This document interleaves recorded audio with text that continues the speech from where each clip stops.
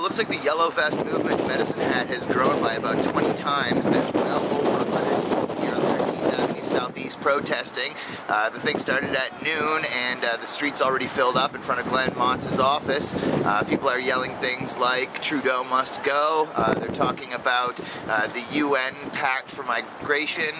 They're talking about changes in the industry of oil and energy and they say that they're protesting because um, they want Trudeau gone. They don't want to be in the UN Migration Pact, uh, and they want things to improve for Alberta Energy and Alberta Oil.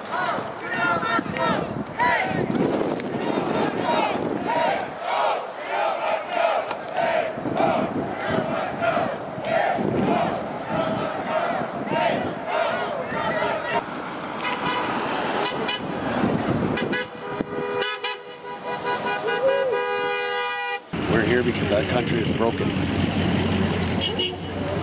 Nothing works. Mr. Trudeau, just what that sign says, he should be tried for treason. He's selling us down a trail that's not going to work. Young fellas like him have no hope in this business. Our industry is good. They should not be treating us the way that they do. Which industry? The oil and gas industry. Plus the whole United Nations issue, all bad. That lady right there, I think, is uh, we'll do some talking to. Right on. How do you think it grew so quickly? Like on Saturday, I was out. There's only 10 people. It looks like there's 75, 100 people almost. My, my, son just let me know. I didn't know about it until uh, he let me know. But uh-huh. it's all good. How do you think people are finding out about it? Oh, I just found social out. media. Social media. Yeah. Yeah, exactly. It's good to see this turnout. It'd be nice if it was even bigger. We got a the squeaky wheel gets the grease, and Alberta hasn't been getting uh, their share of the grease. So it's time we uh, stand up for ourselves.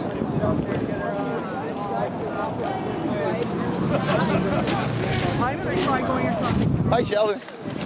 How's it going? Oh. Good to see you. No, sorry. No? No?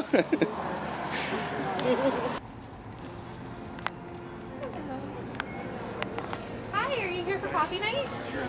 Awesome. Well, welcome. My name's Ashley. I'm on the board. Nice to meet you. Rebecca. Rebecca. Nice to meet you. Come on in. We have uh, coffee and a bunch of refreshments. Go and mingle and enjoy yourself. We do not hand over our sovereignty on immigration to the United Nations. We say no to federal legislation restricting pipelines that Alberta Oil must be allowed to Tidewater. And under federal law, no province has the right to restrict our trade. We say no to the Paris Accord and no to the creation of a slush fund benefiting the friends of our government. We say no to handing over taxation rights by treaty and no to carbon taxes that punish our competitiveness. And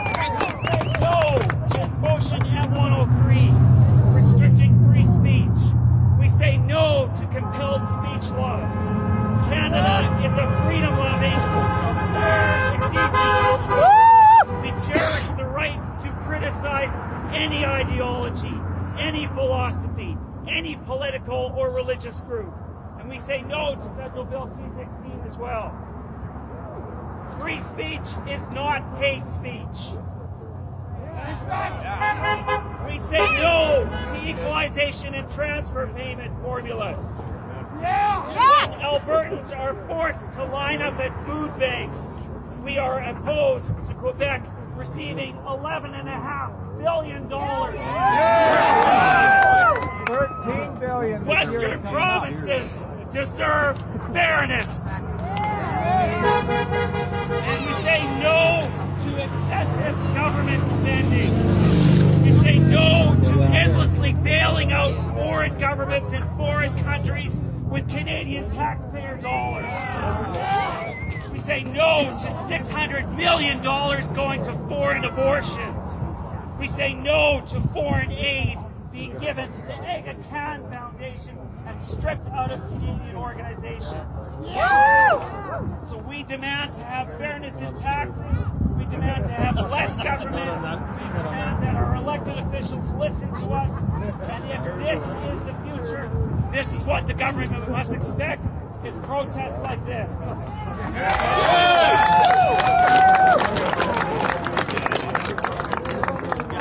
This past Wednesday, I was invited to speak at a public library. I'm going to give you one personal, personal uh, story here.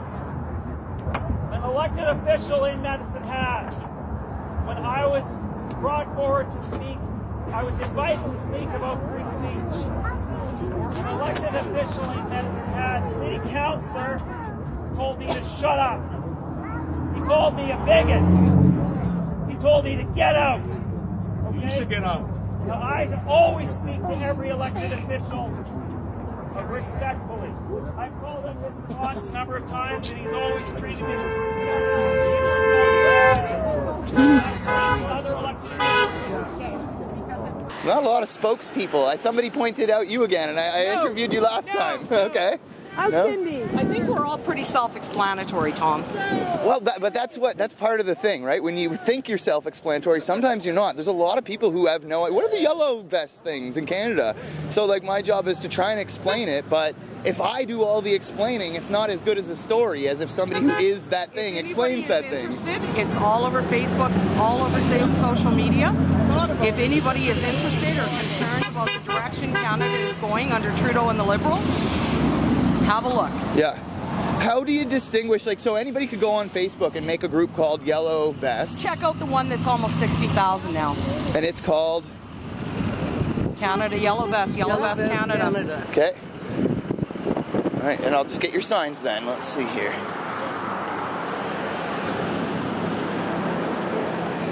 Thanks so much.